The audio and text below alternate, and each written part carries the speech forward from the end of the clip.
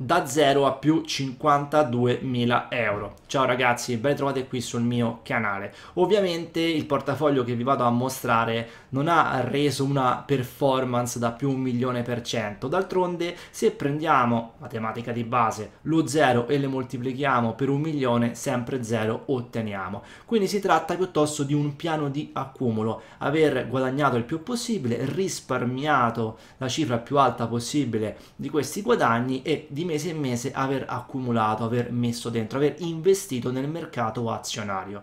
L'ho fatto tutto in tre anni esatti in quanto andavo a partire nel luglio del 2019, quindi 2020, 2021, 2022, luglio sono esattamente tre anni finiti. Partiva in maniera un po' differente, in quanto ora vi mostrerò i vari ETF azionari da me selezionati su cui sto mantenendo un piano di accumulo, iniziavo invece sugli aristocrats, poi ho fatto degli aggiustamenti, mi piacciono di più quelli attuali.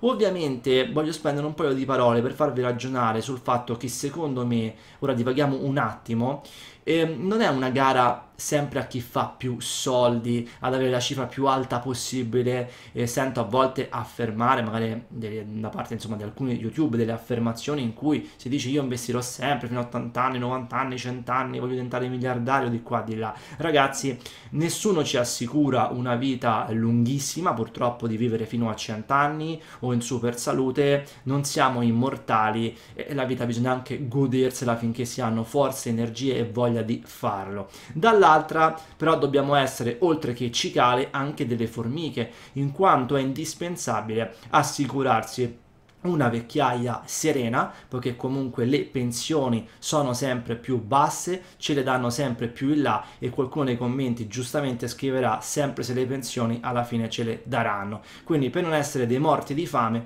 dobbiamo organizzarci e dobbiamo anche cercare di avere un tesoretto da parte per le emergenze, per far fronte magari a dei bisogni eh, relativi alla salute oppure per aiutare i nostri familiari o magari per lasciare anche un lascito per l'appunto. Quindi è sicuramente una buona idea. Secondo me un portafoglio quindi di avere uno scopo ma uno scopo nella vita non lo scopo finale non è avere soldi. Lo scopo finale dei vari portafogli di investimento è avere delle cifre che ci consentiranno di fare determinate cose. Vivere di rendita avere una buona pensione mandare i figli all'università comprare una casa fare della beneficenza. Non so scegliete voi ma lo scopo il target ci deve essere perché è inutile inutile ritrovarsi 80 anni, o già voglio dire 80 anni, 90 anni, centenari magari in un ospizio con una carrozzina con le ruote eh, d'oro, no, massiccio, oppure una bella tomba no, diamantata, non ha senso. Quindi cerchiamo sempre di rifletterci, trovare un equilibrio. Infatti probabilmente può darsi anche che io a un certo punto andrò a interrompere questo piano di accumulo quando dirò ok, la cifra è abbastanza cospicua, la lasciamo crescere per alcuni anni, godiamoceli anche questi soldi. E allora adesso vi andrò a raccontare il tutto, non perdiamo più altro tempo e vado a condividere lo schermo. Dunque signori, sto registrando in data mercoledì 20 luglio 2022, più o meno quasi tre anni esatti dall'inizio del piano di accumulo come vi dicevo c'è stata qualche modifica prima di trovare il giusto assestamento per quella che è la mia visione delle cose, per quello che è il mio profilo, quindi gli strumenti in termini percentuali e così via e questo però è il risultato. Però è leggermente inesatto in quanto ho eh, preso profitto su alcuni ETF e ho deciso di reinvestire in questi qui che state osservando. Ma ora vedremo anche le operazioni effettuate e, ehm, ma ormai è più di un anno, direi un anno e mezzo che accumulo soltanto su questi ETF.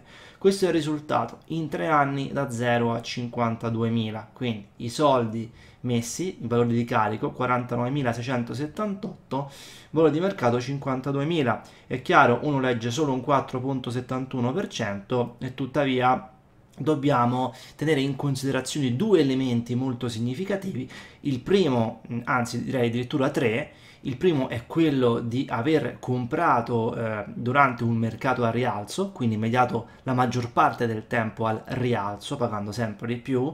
Il secondo motivo è quello di aver innalzato la rata purtroppo durante il periodo ehm, di maggiore crescita, quindi quando era più caro rispetto a quando era meno caro, salvo ovviamente per il primo semestre del 2022, non tanto per una mia visione del mercato, quanto ehm, diciamo, essendo riuscito a mm, impostare la mia esistenza per risparmiare di più, guadagnare di più, mi potevo permettere una rata maggiore, rata che sto mantenendo ormai stabile da diverso tempo e in questo momento non ho intenzione né di incrementarla né diminuirla, quindi è sostanziosa, per ora per me rimane sostenibile e quindi diciamo che il guadagno è stato questo, per ora modesto, anche perché poi proveniamo dal peggior semestre eh, primo semestre praticamente della storia, uno dei peggiori degli ultimi, il peggiore degli ultimi 50 anni, uno dei peggiori della storia.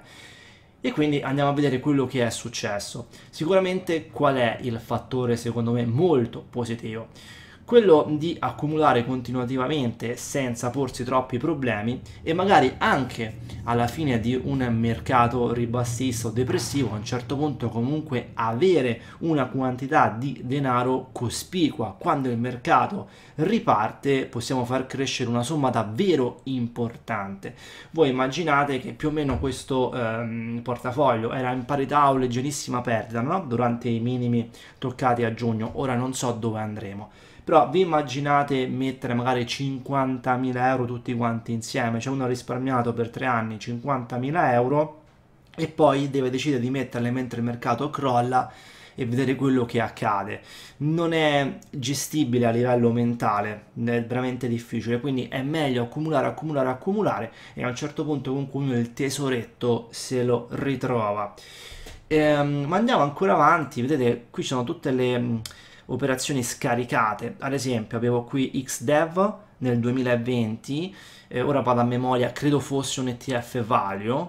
2022, anzi 2021, ho scaricato, oltre a un po' di azioni, vedete qui, eh, USDV EUDV, cioè erano dei, ehm, degli ETF praticamente aristocrats che a me piacciono tanto eh, su, mm, zone, eh, diciamo, sull'Europa e anche sull'America, ma poi ho preferito concentrarmi sul quality dividend growth. Ora andiamo a vedere poi insieme i vari ETF nel dettaglio nel 2022 ad esempio ho scaricato altri ETF come portafogli, vari aggiustamenti fatti della serie, ormai da un anno e mezzo ho deciso che devo portare il piano di accumulo avanti su 4 ETF, ora ne parliamo anche se ne avete visti 5, quindi poi a un certo punto con cui ho scaricato, ho preso profitto, eh, è inutile per me avere un portafoglio pieno di ETF che magari poi non crescono neanche più con delle cifre relativamente piccole rispetto a quelle che saranno su altri, preferisco concentrarmi su quei 4 strumenti e vedere quello che combinano nel tempo, sono delle scelte eh, soggettive.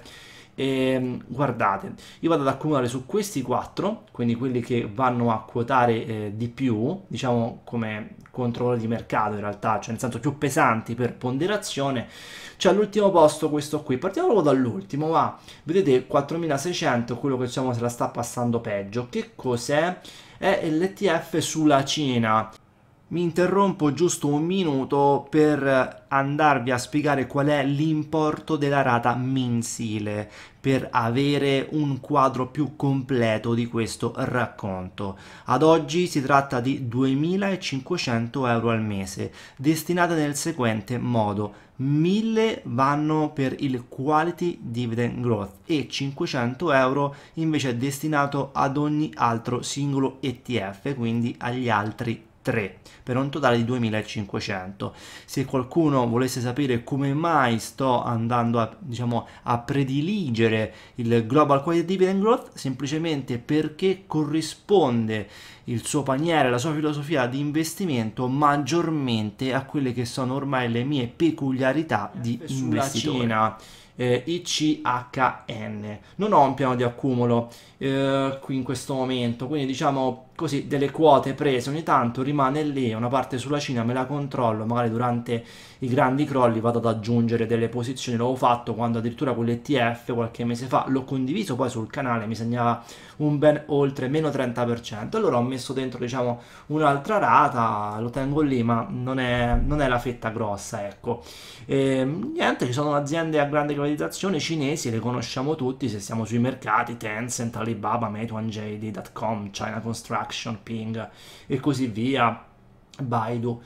Eh, al quarto posto chi c'è? Al quarto posto abbiamo l'ETF emergente, famosissimo e punto di riferimento mondiale e quindi qui comunque vedete già abbiamo diversi nomi che trovavamo nell'ETF cinese perché se noi andiamo a vedere le aree geografiche comunque la Cina pesa per un 30%, Taiwan 15%, poi seguono India, Corea, Brasile, Arabia Saudita, Sudafrica, Messico, Thailandia, Indonesia, Malesia, sì, Malesia, Malesia, Emirati Arabi Uniti, quindi insomma vediamo qui ehm, le aree ehm, su cui siamo eh, concentrati.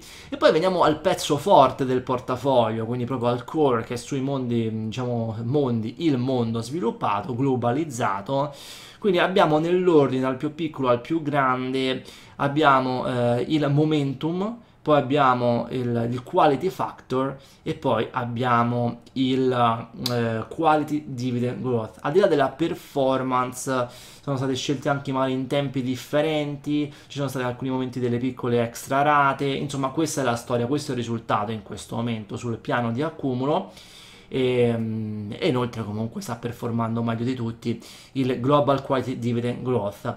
Quindi a livello di emergenti, scusate, di sviluppato, sto portando avanti sul momentum, quindi va a livello globale ehm, a investire su quelle aziende che si trovano in trend. È chiaro che durante le fasi di inversione di mercato, di cambiamento di paradigma, di inversione ad esempio magari dal growth al value e così via, questo ETF va a soffrire più del mercato, però poi entra in tendenza, nel senso se sarà l'epoca di alcuni comparti, di alcuni settori o delle value piuttosto che delle growth, si sarà posizionato il momentum e cavalcherà il trend e quindi nel lungo termine andrà a sovrapperformare il mercato mercato, nel senso tutte nelle, nelle fasi bullish va a sovrapperformare, nelle fasi bearish sottoperforma un po', però se è vero che il mercato tendenzialmente a lunghissimo termine fa bene e aumenta, può essere un'idea quella di posizionare una parte dei propri investimenti sul momentum. Andiamo a vedere un po' quali sono le prime posizioni in questo uh, esatto istante. Abbiamo ad esempio Apple, abbiamo Exxon. Non ho mai visto Exxon ai primi posti quindi insomma ha cavalcato quel momento eh, di, eh, sui, um, sugli energetici. Poi è chiaro che a volte è anche un po' in ritardo bisogna vedere se è un trend che si mantiene a lungo oppure no. Comunque a livello statistico tutti quanti gli studi che sono stati fatti ehm, vado ad affermare che dovrebbe essere una buona idea avere il momentum. Eh, era un po' che non lo leggevo ed è veramente pazzesca questa composizione perché ero abituato a vedere i vari Facebook, Tesla e così via e invece mi trovo Procter Gamble, Johnson Johnson, United Health Group eh, veramente mai visto, era tanto che non lo leggevo, sono scioccato, AstraZeneca, Pfizer, Costco, eh sì, si è posizionato su quelle aziende che hanno reso di più all'interno dell'MSC World, dell'indice mondiale. Ora andiamo a vedere invece il World Quality, sempre all'interno dell'MSC World, qui il gestore va a estrarre quelle aziende più qualitative di altre, perché ricordiamo che vanno a ragionare questi indici sempre per capitalizzazione, allora magari cerchiamo di lasciare un po' fuori quelle che si capitalizzano tanto ma hanno dei fondamentali un po' bruttini. E vediamo qual è il risultato in questo momento del Quality Factor. Ecco, ad esempio qui abbiamo Microsoft e abbiamo Meta, non ce l'avevamo prima nel momentum, abbiamo Nike, Nvidia, è molto diverso, vedete? C'è una bella differenza, Visa non c'era, Coca-Cola non c'era, e poi in questo momento eh, passiamo invece al GGRA, che per come sono fatto io rimarrà sempre il mio preferito. Ehm, è il Quality Dividend Growth, società altamente qualitative con dividendi costantemente in crescita. E qui abbiamo Apple, Microsoft, Roche Holding, Johnson Johnson, Rio Tinto, vedete Coca-Cola, United Health, PepsiCo, eh, Broadcom. Quindi diciamo delle aziende che trovavamo un po' da una parte e un po' dall'altra sui due ETF precedenti. Qui l'importante però è che siano appunto qualitative ma con dei dividendi. Quindi diciamo queste qua sono le mie filosofie, a volte c'è un po' di ridondanza, altre volte adesso c'è molta mh, differenza per quanto eh, riguarda le, i, i portafogli, lo abbiamo letto insieme.